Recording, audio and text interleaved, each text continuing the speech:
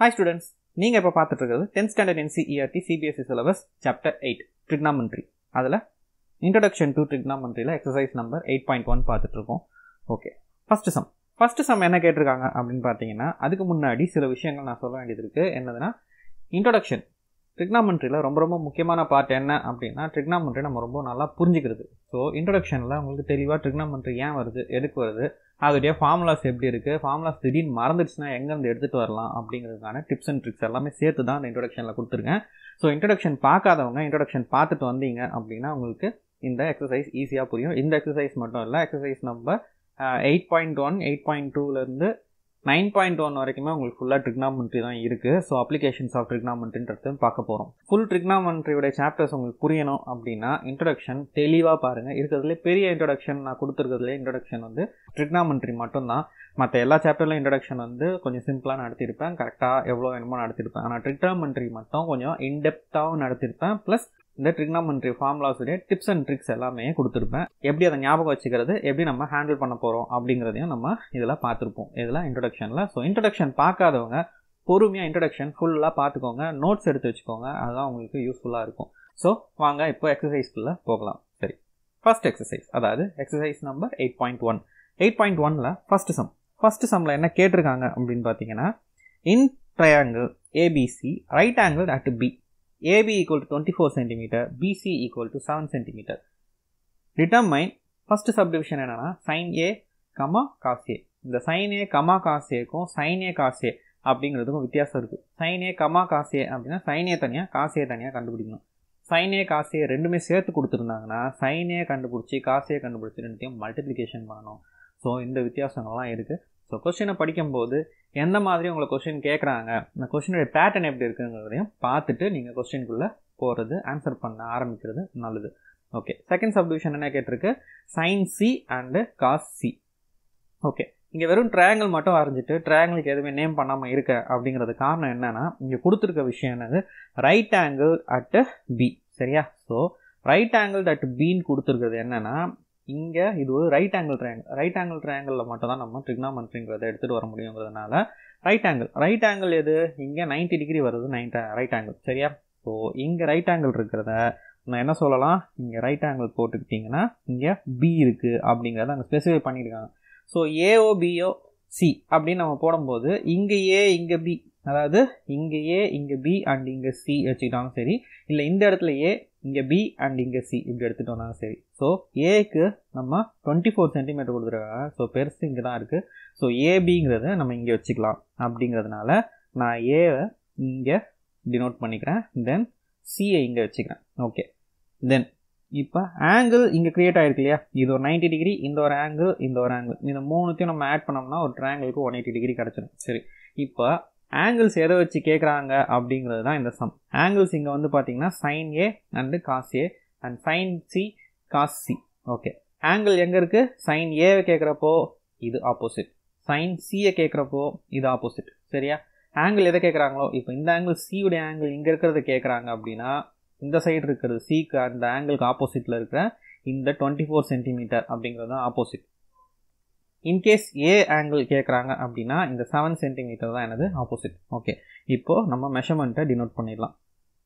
So measurement என்னது? AB twenty four centimetres இங்கே PC seven centimetres இது என்னன்னு தெரியாது. எது? ஹைபாட்னிஸ் ஸோ இதை கண்டுபிடிக்கிறது தான் இப்போ நம்மளுடைய ஃபஸ்ட்டு ஜாப் சரி. ஃபஸ்ட்டு என்ன பண்ணணும் அப்படின்னா நமக்கு ஹைபாட்டனியஸ் தெரியாது. ஸோ ட்ரையாங்கிள் அப்படின்னு வரும்போது ரைட் ஆங்கிள் ட்ரையாங்கிள்காகவே தான் பித்தாகரஸ் தேரம்னு ஒன்று இருக்குது ஸோ பித்தாகரஸ் தேரம் படி நம்ம பார்க்கும்போது by Pythagoras theorem Pythagoras theorem என்ன சொல்கிறாங்க அப்படின்னு பார்த்தீங்கன்னா ஒரு hypotenuse square is equal to ஒரு adjacent square plus opposite square அப்படிங்கிறாங்க. சரி. இங்கே ஹைபாட்னியஸ் ஸ்கொயர் தான் நம்ம கண்டுபிடிக்கணும். அதனால் இதை அப்படியே வச்சுக்கலாம். அட்ஜசன்ட் ஸ்கொயர் என்ன அப்படின்னு பார்த்தீங்கன்னா இப்போ என்ன சொல்லியிருந்தோம் நம்ம? இங்கே ஆங்கிள் இருக்குது அப்படிங்கிறத இங்கே இருக்கிற ஏ ஆங்கிள் அப்படின்னா செவன்றது ஆப்போசிட் சி ஆங்கிள்னு எடுத்துக்கிட்டிங்கன்னா டுவெண்ட்டி ஃபோருங்கிறது ஆப்போசிட் சரியா? ஸோ இங்கே என்ன கேட்க போகிறோம் அப்படிங்கிறதுக்கு முன்னாடி நம்ம எது ஆங்கிளாக எடுத்துக்கிட்டாலும் ஆப்போசிட் அண்ட் அட்ஜஸ்டண்ட்டை ஆட் தான் பண்ண போகிறோம் ஸோ நான் அட்ஜஸ்டன்ட் அப்படிங்கிறத செவன் சென்டிமீட்டர்னு எடுத்துக்கிறேன். செவன் சென்டிமீட்டருடைய ஸ்கொயர் ப்ளஸ் ஆப்போசிட் அது என்னது? டுவெண்ட்டி ஃபோர் சென்டிமீட்டர் நான் எடுத்துக்கிறேன். அது சம்முக்கு சம் மாறும். எங்கே? ஹேங்கிள் கேட்கும்போது சம்முக்கு சம் மாறும் நமக்கு. ஸோ அதை அப்போ பார்த்துக்கலாம். இப்போது ஹைபாட்னி ஸ்கொயரை மட்டும் நம்ம கண்டுபிடிச்சா போதும். செவன் ஸ்கொயர் என்னது? Forty nine twenty four square என்னது? Five seventy six so forty nine plus five seventy six என்ன அப்படின்னு பார்த்தீங்கன்னா six twenty five so hypotenuse square is equal to six hundred and twenty five okay இப்போ square இருக்குது நமக்கு என்ன வேணும்? வெறும் ஹைபாட்டினியஸ் மட்டும் தான் இருக்குது இங்கே இருக்கிறது என்னது? ஹைபாட்டினியஸ் ஸ்கொயர் இருக்குது அப்போ நமக்கு வெறும் ஹைபாட்டினியஸ் மட்டும்தான் வேணும் அப்படின்னா என்ன பண்ணலாம்? இந்த ஸ்கொயர் இந்த பக்கம் கொண்டு வரீங்க அப்படின்னா எப்போவுமே ஸ்கொயரை ரூட்டாக மாற்றும் போது ஸ்கொயர் ஈக்குவல் இந்த பக்கம் பண்ணால் ரூட் ஆகிடும் அப்போ போடும்போது ப்ளஸ் ஆர் மைனஸ் ரூட்னு போட்டுக்கோங்க. ஸோ சிக்ஸ் டுவெண்ட்டி ஃபைவ் இது பாலினாமியல் அப்படிங்கிறதுல வரும்போது ஒரு ஸ்கொயர் டேம் வருது அப்படின்னா என்னது? ஒரு குவாட்ரடிக் ஈக்குவேஷன் அப்படின்னு வரும்போது எக்ஸ் ஸ்கொயரில் ஸ்டார்ட் ஆகும்போது அந்த ஸ்கொயர் வந்துச்சுன்னா நமக்கு எக்ஸுக்கு எத்தனை வேல்யூஸ் வரும்? டூ வேல்யூஸ் சரியா?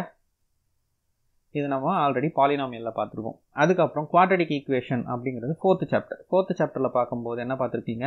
ஸோ குவாட்டடிக் ஈக்குவேஷன் அதில் பார்க்கும்போது ஒரு சின்னதாக ஒரு ஈக்குவேஷன் அதாவது x square plus two x plus one இந்த மாதிரி ஏதாவது ஒரு ஈக்குவேஷன் பார்க்கும்போது அதுக்கும் என்ன வேல்யூ கண்டுபிடிச்சிருப்பீங்க? எக்ஸ் ஸ்கொயர்னு வரும்போது ரெண்டு வேல்யூ இல்லையா? ஸோ எக்ஸ் ஸ்கொயர் அப்படின்னு வரும்போது எக்ஸுக்கு ரெண்டு வேல்யூ வரும். ஸோ இது டூ டிகிரி ஈக்குவேஷன் அப்படிங்கிறதுனால.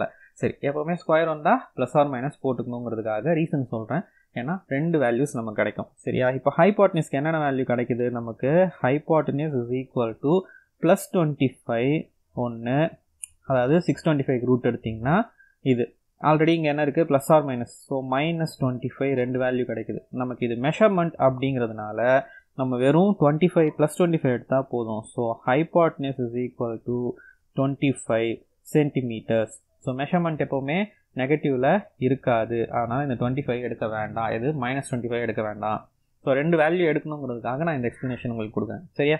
நெக்ஸ்ட் என்ன பண்ணுறோம் சப்டிவிஷன்ஸ்க்கு போகலாம். ஓகே இங்கே நமக்கு ஃபஸ்ட்டு சப்டிவிஷன் ஃபஸ்ட்டு சப்டிவிஷனில் என்ன கேட்டிருக்கு? நமக்கு சைன் ஏ காஸ் ஏ சரியா?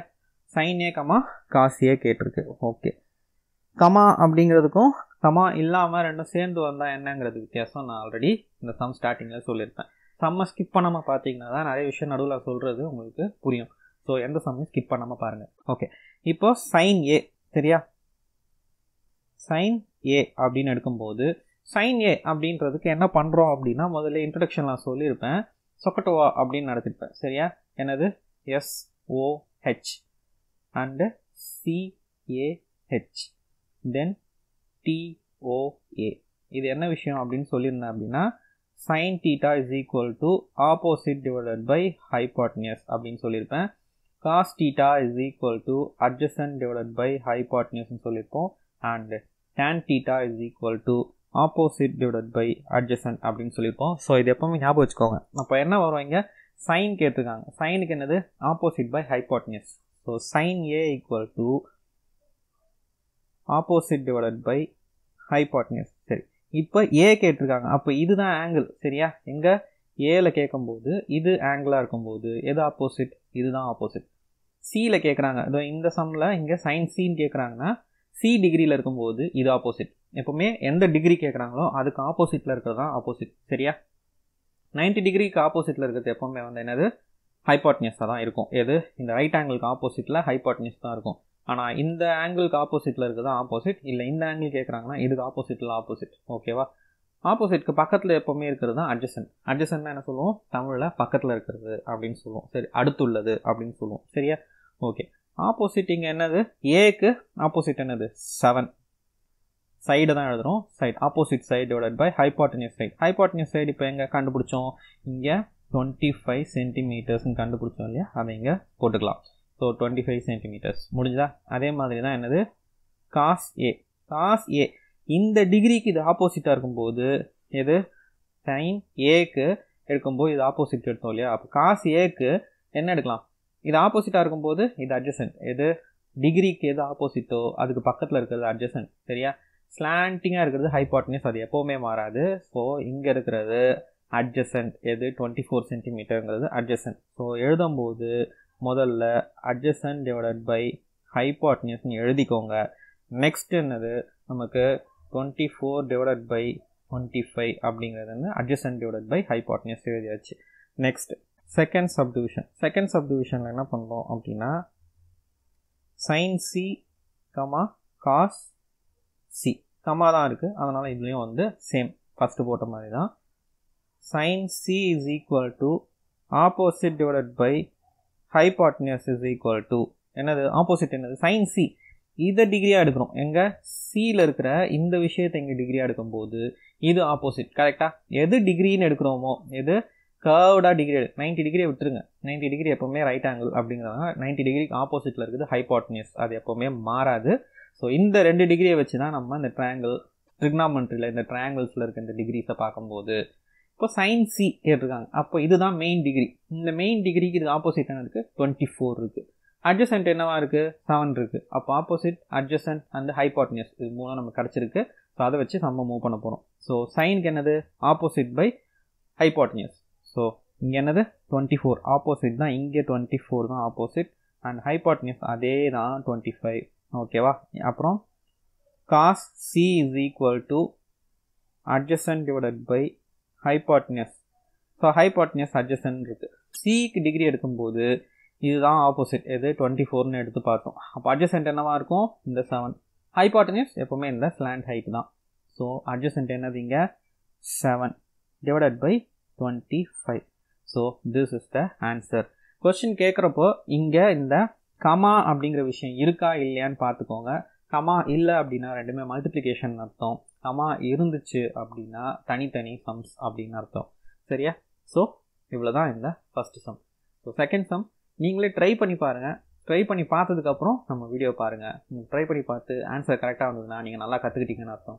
ஸோ வீடியோ எப்போவுமே பார்த்துட்டே வந்து நம்ம சம் நம்ம பார்த்துட்டோம் கற்றுக்கிட்டோம் அப்படின்ட்டு இல்லாமல் போட்டு பாருங்கள் சம் நீங்கள் எவ்வளோக்காவது சம் போட்டு பார்க்குறீங்களோ அவ்வளோக்காவும் உங்களுக்கு ப்ராக்டிஸ் ஆகும். ஸோ எத்தனை சம் எவ்வளோ வித்தியாசமாக கொடுத்தாலும் உங்களால் போட முடியும். சரியா? முதல்ல ட்ரை பண்ணுங்கள் அதுக்கப்புறம் வீடியோ பாருங்கள் ட்ரை பண்ணுங்கள் வீடியோ பாருங்கள் சரியா? டவுட்ஸ் இருக்கும்போது எங்கே நம்ம தப்பு பண்ணுறோங்கிறத வீடியோ பார்த்து சரி பண்ணிக்கோங்க. இந்த வீடியோ உங்களுக்கு பிடிச்சிருந்தா லைக் பண்ணுங்கள் உங்கள் ஃப்ரெண்ட்ஸோட ஷேர் பண்ணிக்கோங்க. ஏதாவது டவுட்ஸ் ஆர் ஒப்பீனியன் இருந்தால் கமெண்ட்டில் சொல்லுங்கள் கூடவே டெலிகிராம் அண்ட் இன்ஸ்டாகிராம் டிஸ்கிரிப்ஷனில் கொடுத்துருக்கேன். அதுலேயும் உங்களோட டவுட்ஸ் நீங்கள் ஷேர் பண்ணி சால்வ் பண்ணிக்கலாம். இது வரைக்கும் நம்ம சேனல் ஓம் லேர்னிங் ஜோனை சப்ஸ்கிரைப் பண்ணலாம் சப்ஸ்கிரைப் பண்ணிக்கோங்க. கூடவே அந்த பெல்லைக்கான ஆல் நோட்டிஃபிகேஷன் கிளிக் பண்ணிக்கோங்க. அப்போ தான் நான் போஸ்ட் பண்ணுற வீடியோஸ் உங்களுக்கு நோட்டிஃபிகேஷனில் காட்டும். Thank you students